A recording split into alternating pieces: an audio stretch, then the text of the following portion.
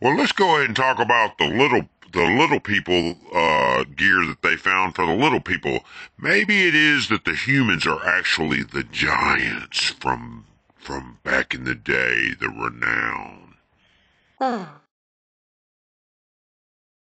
Tell you what it is, it's a hoax. It's a hoax because, you know, they're not the giants. No such thing, man. I tell you what, but the guy sounded kind of convincing, huh? I might see it when it comes out on a movie.